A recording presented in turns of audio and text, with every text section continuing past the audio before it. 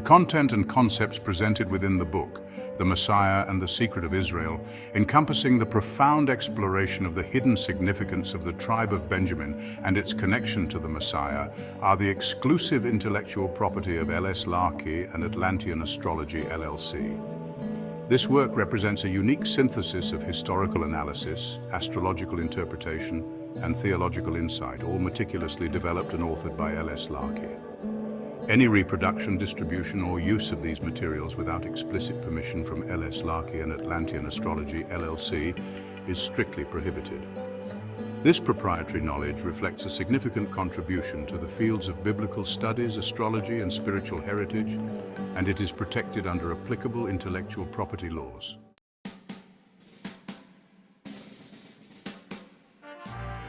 The tribe of Benjamin played a crucial role in the history of Israel.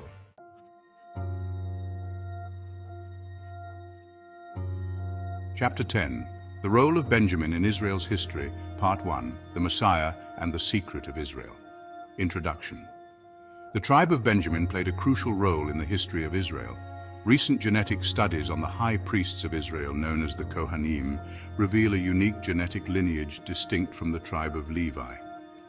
Interestingly, some individuals with this high priest genetic marker do not share the genetic identity with Levi, indicating that the Cohen marker can exist without the Levi marker. This discovery leads to a groundbreaking theory.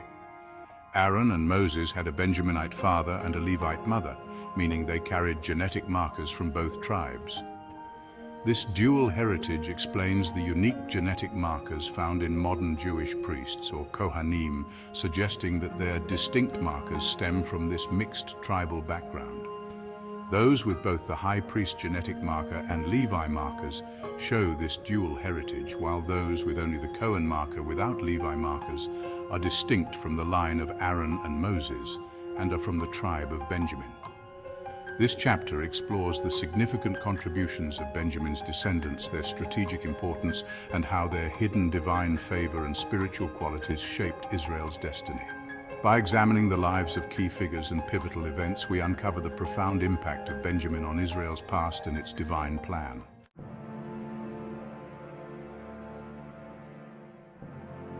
Benjamin's descendants have left an indelible mark on the history of Israel. Their actions and leadership often revealed the hidden strength and divine favor that characterized their lineage. This section provides an overview of these key figures and their impact.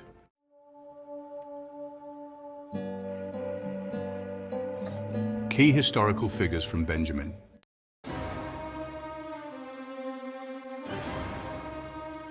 Ehud, the Benjamite one. Deliverer from Moabite oppression. Ehud, a judge of Israel, emerged as a heroic deliverer, freeing the nation from the oppressive rule of the Moabites. His cunning and bravery were instrumental in this liberation. Ehud's left-handedness, a distinctive trait among the Benjamites, was pivotal in his success, enabling him to execute his daring plan with precision and stealth. 1. Divine appointment by God.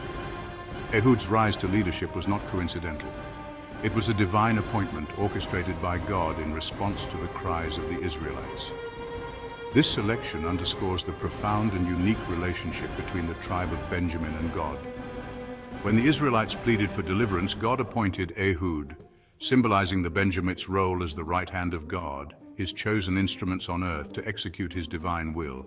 Biblical reference, Judges chapter 3, verses 15 to 30. Again the Israelites cried out to the Lord, and he gave them a deliverer. Ehud, a left-handed man, the son of Gera the Benjamite. 1. Strategic use of left-handedness.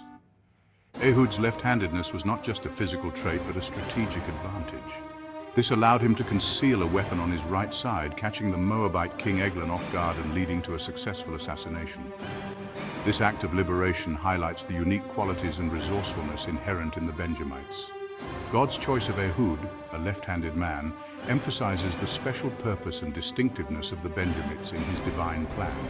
Biblical reference Judges chapter 3 verses 15 to 30.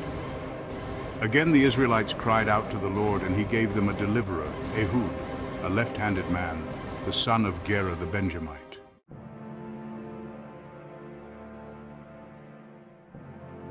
Ehud's divine appointment and subsequent actions underscore the unique role of the Benjamites in Israel's history.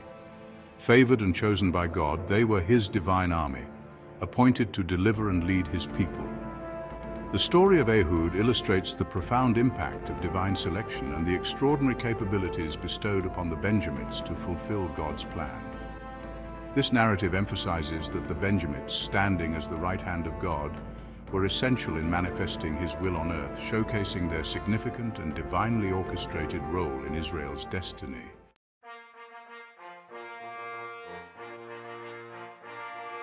Up until the time of the first king, Israel was ruled by the Ten Commandments and the laws of Moses. However, Israel also always had a high priest to guide them. These high priests, descendants of Aaron, held a secret lineage that was both Benjaminite and Levite. This divine orchestration was hidden from Israel and the world. It was believed that Aaron and Moses were from the tribe of Levi, but this was only true on their mother's side. Their father was from the tribe of Benjamin. Understanding this larger picture reveals the profound truth of Moses and Aaron's heritage and their connection to Benjamin. When Israel desired an earthly king like other nations, the high priests, who were the political backbone of Israel, knew the king had to be from the tribe of Benjamin. The selection of Saul as the first king of Israel by the high priest was not just a political decision, but a revelation of the hidden truth about the tribe of Benjamin. Saul from the tribe of Benjamin was chosen to lead, highlighting the tribe's leadership potential and divine favor. This choice disclosed the significant role of the Benjamites in God's plan. Despite his eventual downfall, Saul's reign marked the transition from the period of the judges to the establishment of the monarchy, a critical phase in Israel's history. His selection and reign were pivotal in revealing the divine favor and leadership role of the tribe of Benjamin, setting the stage for future leaders and kings. 1 Samuel 9, 21. Saul answered, But am I not a Benjamite from the smallest tribe of Israel? And is not my clan the least of all the clans of the tribe of Benjamin? Why do you say such a thing to me?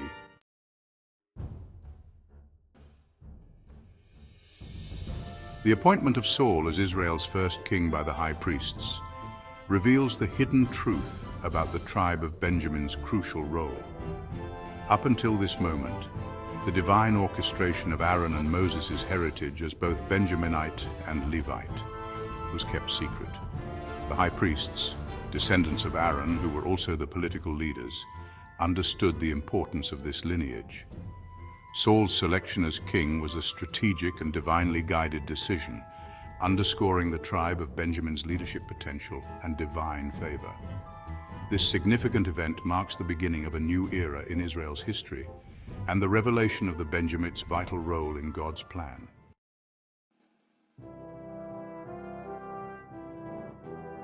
Jonathan, the son of Saul, formed a deep covenant with David, the future king of Israel, this covenant is profoundly significant as it symbolizes the recognition and integration of Benjamin's divine role within the broader narrative of Israel's monarchy. Jonathan's declaration of love for David as he loved himself is a divine revelation indicating that he was spiritually aligning David with the tribe of Benjamin. By seeing David as he saw himself, Jonathan was essentially initiating David into the Benjamite lineage, thus bringing David into the divine plan and presence of God. When Jonathan took off his robe and gave it to David, along with his tunic, sword, bow and belt, he was performing a ceremonial act of making David a Benjamite. This symbolic gesture represented the transfer of Jonathan's own identity and divine favor to David, signifying David's induction into the tribe of Benjamin.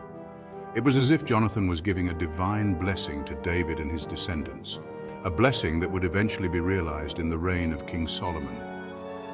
This act was not merely an exchange of clothing and weapons, but a profound spiritual and ceremonial process that integrated David into the Benjamite heritage and divine purpose. Jonathan's unwavering support and protection of David, despite his father Saul's opposition, demonstrate the spiritual insight and loyalty inherent in the Benjamites. This divine bond between Jonathan and David extends beyond space and time, holding true in the face of God. Even though Jonathan was killed before David became king, the covenant they made transcended earthly limitations, affirming the eternal connection and divine orchestration involving the tribe of Benjamin. 1 Samuel March 4th, 18. And Jonathan made a covenant with David because he loved him as himself. Jonathan took off the robe he was wearing and gave it to David, along with his tunic and even his sword, his bow, and his belt.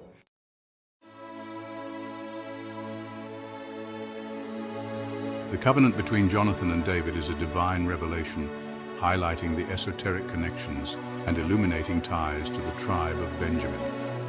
Jonathan's ceremonial act of giving his robe and weapons to David was a significant ritual that symbolized the induction of David into the tribe of Benjamin. This sacred bond reveals that through Jonathan's love and covenant, David was spiritually inducted into the presence and favor of God, aligning him with the divine role of the Benjamites. It was as if Jonathan was bestowing a divine blessing upon David and his descendants, a blessing that would be fulfilled in the reign of King Solomon.